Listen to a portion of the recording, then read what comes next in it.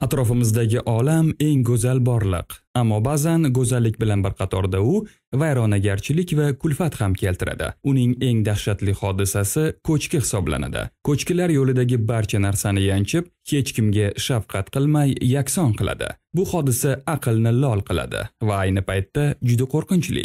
Siz bu hodisalarni o'z ko'zingiz bilan ko'rishni istarsiz. Unda marhamat Siz Bilib oling kanalidasiz. Bugungi videoda kamera obyektiviga tushib qolgan eng dahshatli ko'chkilar haqida hikoya qilamiz. Tojikistondagi ulkan ko'chki 2015-yilda Tojikistonning tog'li Badaxshon viloyatida ham yuz berdi. Mahalliy hukumat xabar berishicha, ulkan oqim natijasida katta ko'chki kelib chiqqan. Mana bu kadrlarga bir qarang. Ular haqiqatda vahimaga soladi. Bularning natijasida Gund daryosining yo'li to'silib qoldi va keskin suv ko'tarilishi hosil bo'ldi. Shugunan hududining bir necha aholi punktini va 30 ming aholiga ega Xorok shahrini suv bosdi.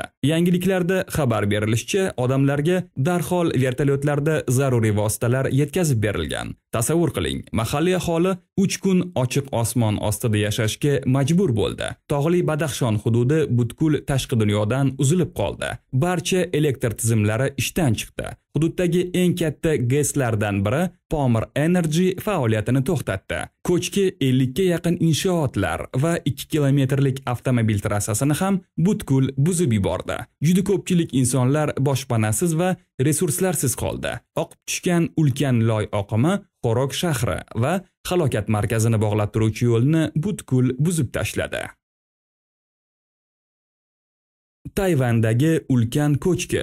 Endi 2016-yil 1-sentyabrda Tayvanda yuz bergan voqealar haqida gaplashamiz. Bu kadrlarni barcha bilan bo'lishni istagan bir tomoshabin suratga olgan. Biz tuproq qatlami asta-sekin ko'chayotganini ko'ramiz. Keyin esa katta kuch bilan o'pirila boshlaydi. Ko'chkining ta'siri natijasida orolning janubi-g'arbiy sohilidagi harbiy qism hududi tuproq ostida qoldi. Odamlarning baxtiga jabrlanganlar bo'lmadi.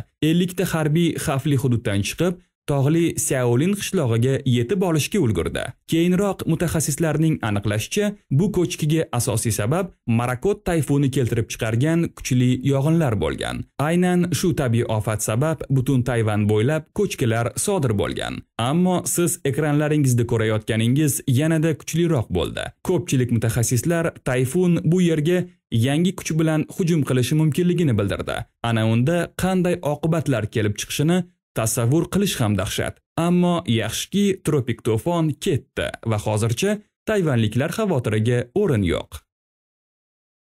Shveytsariya Alpidagi ulkan ko'chki Tarixdan ma'lumki, Shvetsariyaning 3 dan 2 hududi tog'li rayonlar. Shuning uchun aholi qadimdan turli ko'chki va toshqinlarga moslashgan. Shundaylikki shunday, ammo 2017-yil 23-avgustdagi hodisa barcha ehtiyotkorlik va choralarni yo'qqa chiqardi.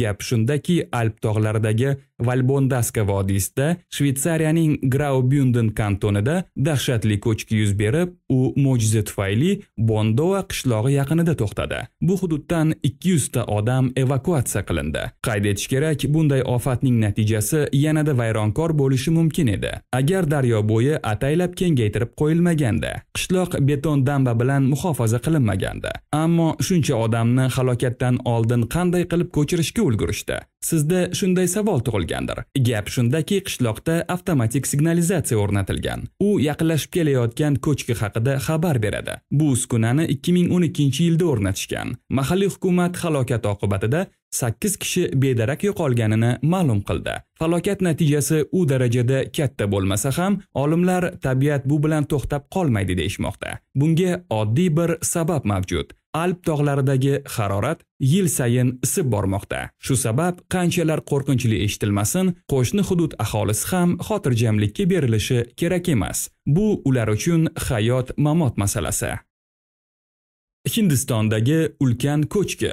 Bu gal Hindistonning Kerala shtati va yana shimoli sharqiy okrugi ulkan ko'chki sabab yirik tosh va loy uyumi ostida qoldi. Mutaxassislarning xabar berishicha ko'chki ostida yuzlab insonlar qolgan bo'lishi mumkin. Mahalliy aholi yuritgan hisob kitoblarga ko'ra ham qurbonlar bor. Ko'chki 40 ta yashash binolarini yakson qilgan elektr tizimlarini ishdan chiqargan ko'plab yo'llarni yopib qo'ygan. Hodisa markazida shunday chang to'plandiki Hududda joylashgan odamlar juda qiynalib nafas olishardi. Falokatning asl sababi nimada edi? Hech qanday yangi gap eshitmasligingiz aniq. Falokat yuz bergunga qadar bir necha kun kuchli jala yoqqan. Hatto qutqaruvchilar ham tinimsiz yomg'ir va rasvo yo'l sharoit sabab falokat hududiga vaqtida yetib kelolmaganlar. Bu falokatlar tugagach, mahalliy aholi qutqaruvchilar bilan halokat oqibatlarini bartaraf etishga kirishdilar. Ish juda og'ir edi. Bunday holat dunyodagi har bir inson bilan yuz berishi mumkin. Shu sabab hech qachon yordamdan qochmaslik va zarur paytda yordamga shay turish kerak. Xitoydagi yirik ko'chki Bu hodisa 2017-yilda yuz bergan. Yomg'ir mavsumining rasman boshlanishidan bir necha kun o'tib, Xitoyning Shensi provinsiyasi shimoli-g'arbida doimiy ko'chkilar bilan mashhur hududda Navbatdagi ko'chki sodir bo'ldi. Albatta, uning miqyosini biz yuqorida sanab o'tgan ko'chkilar bilan tenglashtirib bo'lmaydi. Bu yerda hech qanday qurbonlar bo'lmadi. Ammo tan olish kerak, manzara odamni vahimaga solmasdan qo'ymaydi. Ko'chki beqaror ob-havo sabab kelib chiqqan va albatta juda ko'p yoqqan yog'in sabab. Hodisani tasvirga olishga muvaffaq bo'lishdi va tan olish kerak, kadrlar odamni haqiqatda vahimaga soladi. Bu ofatning kuchiga bir qarang. Uni to'xtatishning umuman iloji yo'q. Bu hodisaga o'z ko'zi bilan guvoh bo'lgan odamlarning holatini tushunish mumkin.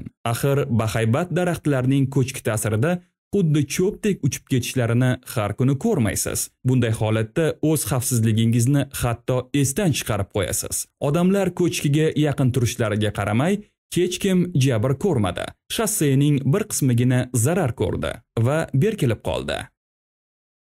Xitoydagi yirik ko'chki Bu holat yuqoridagi barcha vaziyatlardan farq qiladi. 2015-yil 20-dekabrda Shenzheneda kutilmagan hodisa ulkan ko'chki yuz berdi.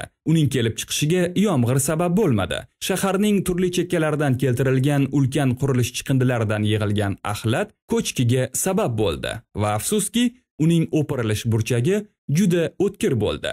U 380 ming kvadrat metr yerni 10 metr balandlikdagi axlat bilan bosib qoldi va butkul qamrab oldi.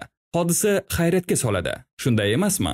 Mahalliy aholining aytishicha, oxirgi 2 yilda sanoat parki yonida tuproq uyumi va qurilish chiqindilari qulab tushgan. Biroz keyinroq Xitoy Yer va tabiiy resurslar vazirligi o'zining rasmiy sahifasida maxsus komissiya bo'lib o'tgan hodisaning sababini aniqlaganini yozdi.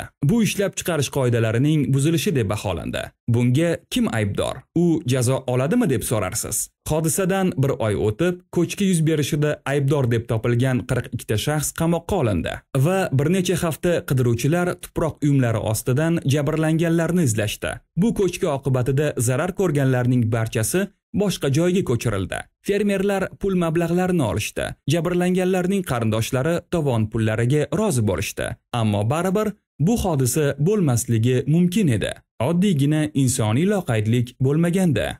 Bizda buguncha shu. Bilib oling kanalida biz bilan barcha narsa haqida bilib oling. Bizdan aslo uzoqlashmang. Eng bilag'onlar faqat biz bilan. Ko'rishguncha